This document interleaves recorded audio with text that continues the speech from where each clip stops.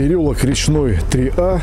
Сегодня общественники провели очередные мероприятия по а, выявлению нелегальных а, площадок, где идет заготовка, переработка и реализация лома цветного черного металла в нарушении действующего законодательства. Пункт приема металлолома должен обладать лицензией и нотариально заверенной копией выписки из ЕГРЮЛ, а, который обязан предъявлять по требованию клиентов и контролирующих органов.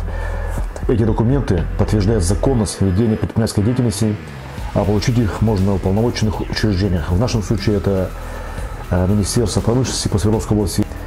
Незаконный прием металлолома – это не только работа без постановки на учет в налоговой службе, но также ведение коммерческой деятельности с нарушением актуальных правил приема и учета. Одна из наиболее важных э, – это обеспечение радиационного контроля на предприятии в целях обеспечения безопасности людей и окружающей среды.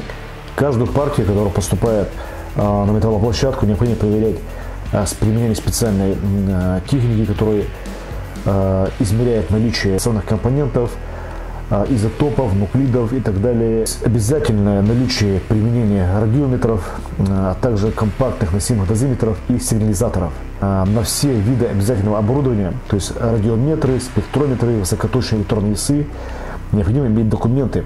Это технический паспорт – свидетельство о проверке. Для легальной работы необходима площадь не менее 200 квадратных метров. Размер площади это 200 квадратных метров, а размер э, земельного участка от 500 квадратных метров. В противном случае получение лицензии будет отказано, а значит мелкие пункты приема априори не могут работать легально. Организатор данной площадки э, вызвали манипулятор, чтобы вывести весь заготовленный лом. Так как вызвана полиция, э, полиция, конечно, при еще не скоро, но сам факт того, что это заготовленный лом полиция может изъять и транспортировать на ответственное хранение до решения суда. А, они решили металл весь вывести и временно приостановить деятельность. Вот видим, что выезжает транспортное средство. Весь заготовленный лом, который был на этой площадке, загружен в это транспортное средство и вывезли с территории данной площадки.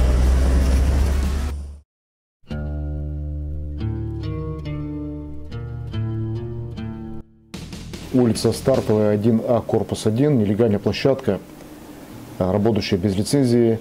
Сегодня общественники совместно с пресс-службой телеканала РБК выехали на эту площадку, чтобы зафиксировать незаконный факт их деятельности.